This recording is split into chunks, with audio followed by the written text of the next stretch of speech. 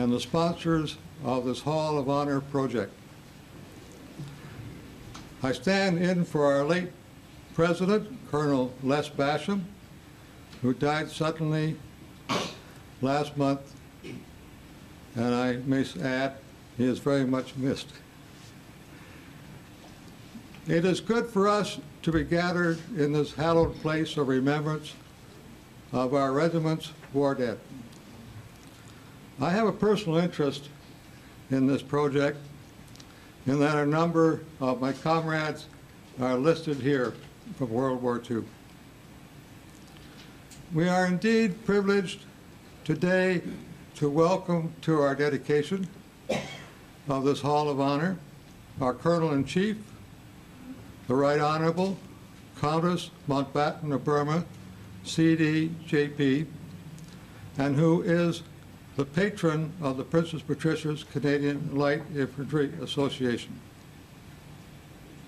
It is my pleasure as president of the association also to welcome and to introduce to you Brigadier General Stuart Graham, CD, under whose auspices as colonel of the regiment this project grew and who only yesterday relinquished his appointment of colonel of the regiment to Major General Herbert Pitts, MCCD, who too is with us today. It is now time for me to turn over the direction of the service to the person to whom we are truly indebted for this project. Association through President through the years 1984 until just this last summer of 1989. The man who conceived the idea of the Hall of Honor, who singularly promoted the concept, who raised in good part the necessary finances, and all along shepherded construction. I think he was here every day. And leading up to this dedication. I give you Mr. Rod Middleton, the conceiver and director of this project. Rod?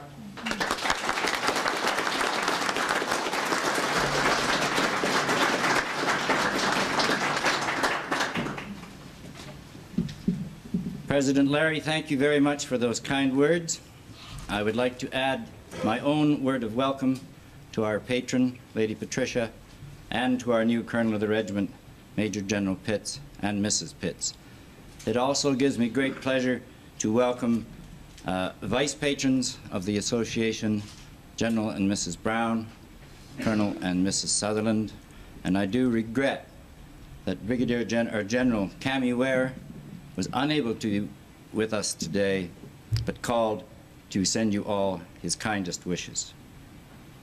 Distinguished guests, ladies and fellow patricias, this is a very proud day for the PPCLI Association. In a few moments, our patron will dedicate the PPCLI Memorial Hall of Honor, a memorial that pays tribute to those 1,784 patricians who gave their lives in time of war. Our regiment's war dead lie in military cemeteries in far-off lands. Their gravestones are to be found in Belgium and in France, in Italy and Holland, the United Kingdom, and in far-off Korea and Japan. Many have no known graves from the First World War, lost as they were in the morass and the horror of those terrible shell-torn battlefields. But now, their names are inscribed here for all to see. The decorated and the undecorated, the colonels and the privates, the chaplain and the doctor, the captains and the corporals, men of all ranks, men from all walks of life, men from all corners of our great land, but patricias all. 1,318 fallen from World War I. 327 fallen from World War II. 138 who fell in Korea. And one who was killed in Palestine on peacekeeping duties. Let this memorial serve to remind all who enter its revered sanctum of the sacrifice made by so many so far from home and so long ago in the defense of all those principles that we, as freedom-loving people, enjoy and hold so dear. I now call upon the chaplains, Captain Fletcher and Captain Gingras to conduct the service of dedication. I thank you.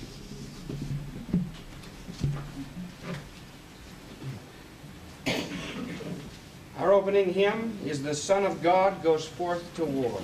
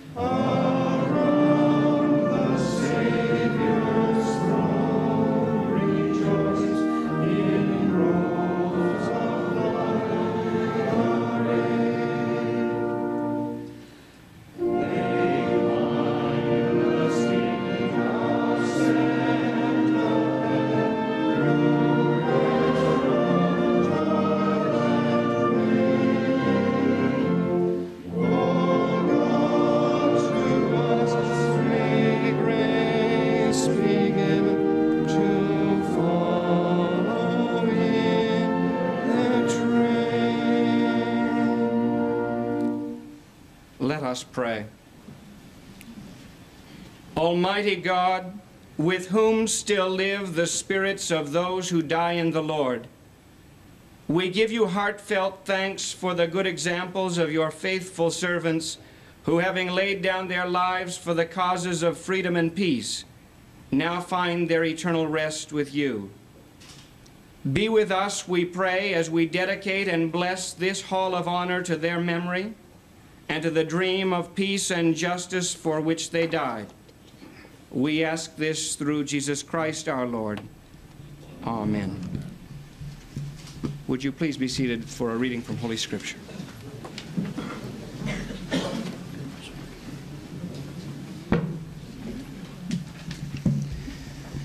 The reading is from the Wisdom of Solomon, chapter 3, verse 3 to 9. But the souls of the just are in God's hand, and torment shall not touch them.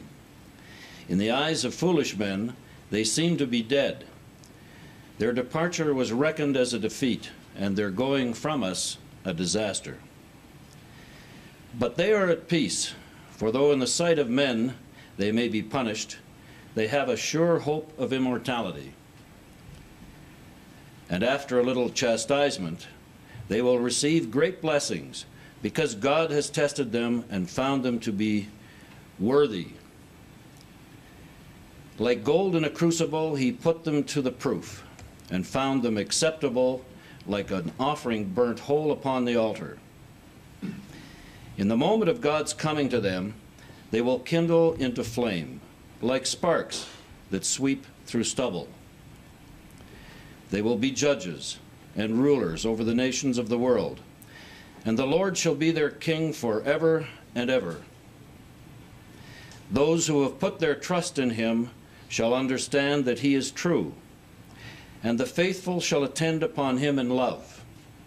They are his chosen, and grace and mercy shall be theirs. Here endeth the reading.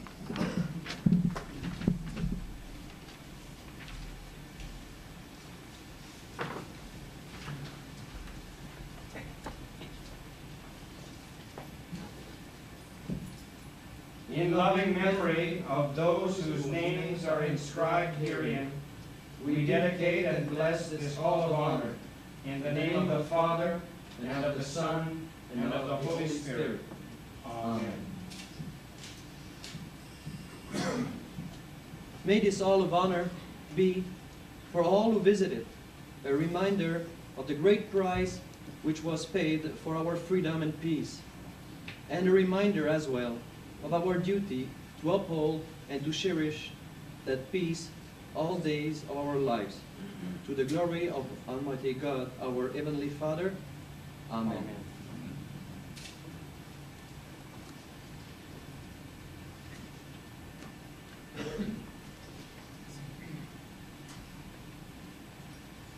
I would just like to say what a very great honor it is for me to be able to unveil this memorial, standing as it does at the very heart and center of this wonderful building, which will eventually be finished as a museum second to none to record the lives of four great regiments. We've heard over the names of 1,784 men inscribed on Canadian granite round these walls. It's very difficult, I think, to think of numbers as meaning anything. But it did occur to me that 1,784 is in fact not far short of the entire strength of the three battalions of today's regiment and twice the strength of the original patricians. And yet, although these names are here for these men who gave their lives for their country and for their fellow human beings. The regiment is certainly not dead. We continue as a regiment as strong as ever. I'm sure that everybody in this room has probably some name here which will mean something very near and very dear. And we'll find this a very emotional occasion. And I have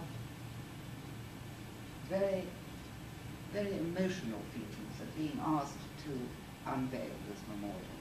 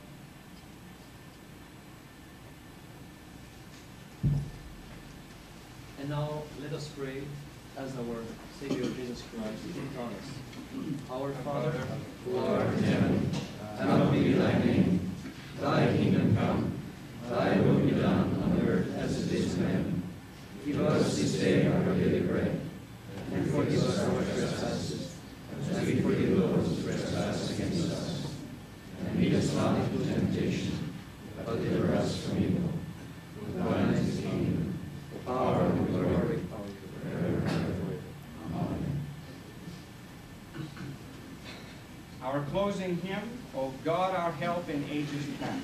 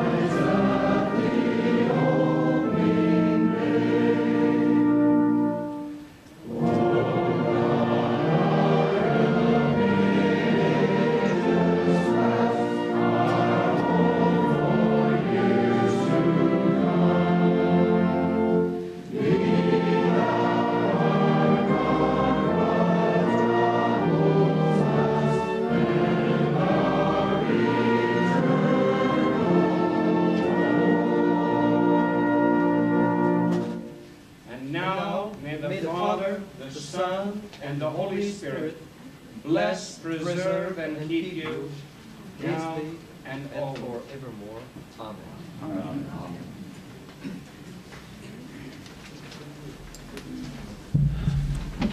Please be seated.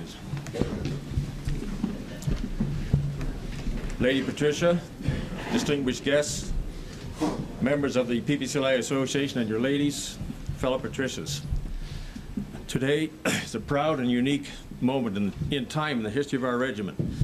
The Memorial Hall of Honor preserves in one place the memory of the human sacrifice of our past and will provide an enduring message for the future that war, despite the patriotism and comradeship that it engenders, is not a glorious event, but is a tragedy to be avoided at all costs. And now, ma'am, on behalf of the PPCLI Association and the Old Guard, it is my honor to thank you for your gracious participation here today, and my pleasure to thank all our assembled guests for joining us for this memorable occasion, and to invite you to be our guests at a reception in the museum foyer. Thank you.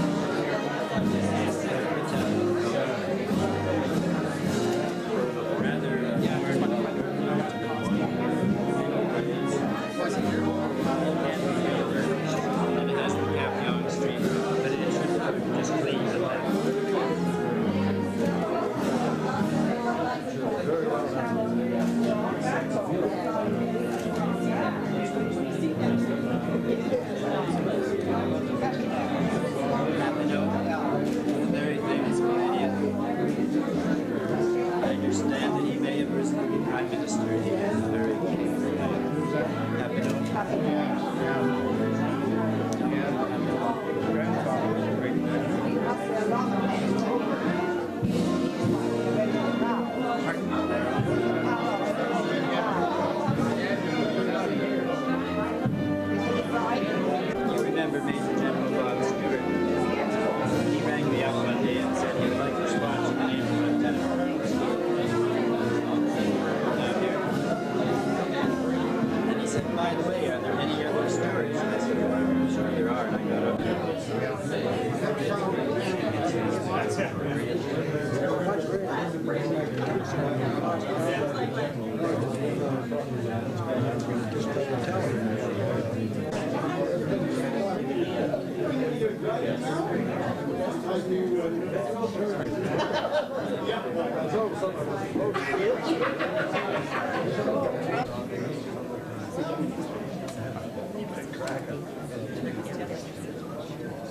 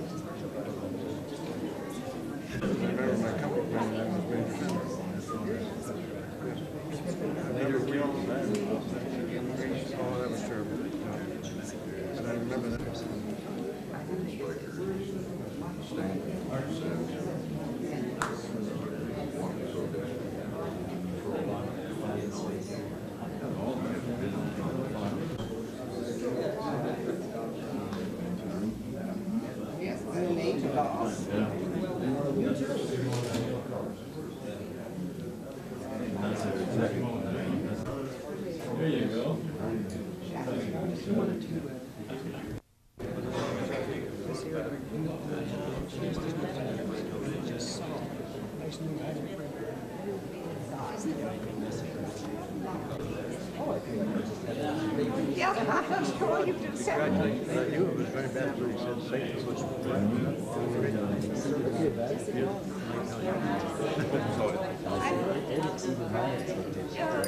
just sorry that the queen couldn't see it, but I will tell her.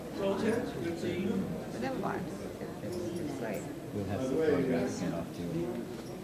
Due course. This lovely wood carving was designed for this wall. That was the start. It's going to run again this year. Still kept the sketch. White House.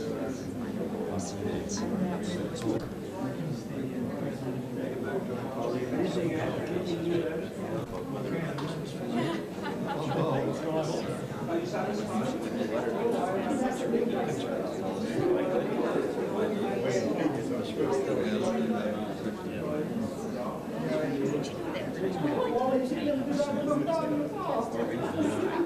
Yes, yes.